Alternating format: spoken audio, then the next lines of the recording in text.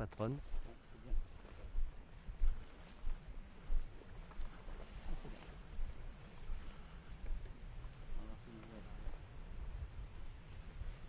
Oh là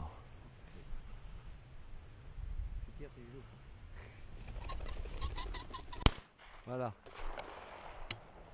C'est bon Porte